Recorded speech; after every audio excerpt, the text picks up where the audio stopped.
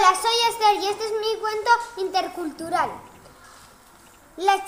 Tres chicas en el castillo de Estados Unidos.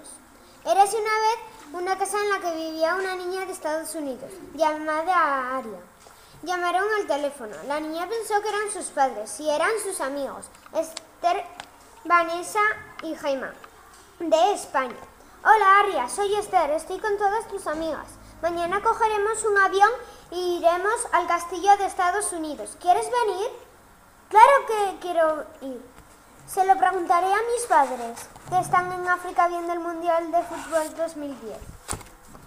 A las 8 te mando un correo electrónico a tu portátil. Adiós. Aria llama a sus padres y les dice que mañana vienen sus amigas españolas. Las va- que si puede ir a verlas. Le dicen, pero si que vaya con Anita, que es su niñera rumana. Le manda el correo electrónico y quedan a las 7 en el castillo. Todas las chicas están nerviosas porque llega mañana. Al día siguiente las españolas cogen un avión muy temprano y Aria se levanta muy, muy emocionada. Pasan las horas y Aria con su niñera Aneta están en la puerta esperando. A los cinco minutos llegó un taxi amarillo y negro. Y negro. De aquí bajaron Esther, Vanessa y Gemma a darse abrazos con su amiga Aria.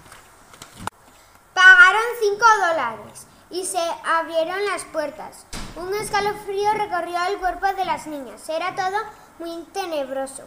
Un castillo su- subieron a la planta, a la primera planta. Había un comedor alrededor de una mesa, luego unos pasillos con cuadros que daban miedo. Subieron a la segunda planta. Aquí se dieron cuenta de que Vanessa y Aneta no estaban. Esther dijo que estarían en el baño. Caminando unos pasos fueron a las habitaciones y se dieron cuenta de que Arria tampoco estaba. Vinieron, vieron un cartel que ponía servicios, relámpagos. No están. Este, este sitio que me da miedo. Empezaron a buscar la salida. De pronto vieron a mucha gente tomándose un refresco.